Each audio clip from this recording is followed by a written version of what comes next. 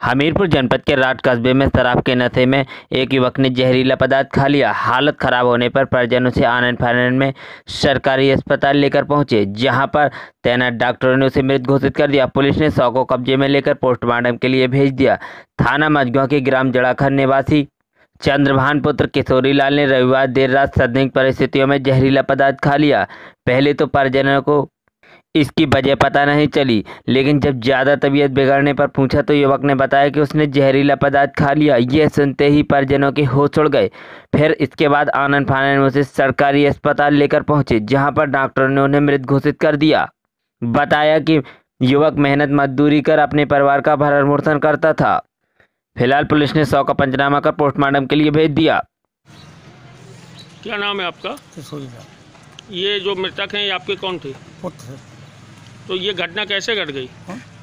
ये दारू का आदि था डेली पीता था। और डेली पी करके नशा में झूमते हुए आया करता था। रात में भी आया। और रात में झूमते हुए आया ग्वारी तक आया गिर गया। और फिर दो चार सर्जन ने अंदर इसको किया। और फिर इसने पलटी की। उस पलटी में बदबू आ गई। हमीरपुर से यूपी ट्वेंटी फोर न्यूज़ के लिए सीतू सेंगर की रिपोर्ट।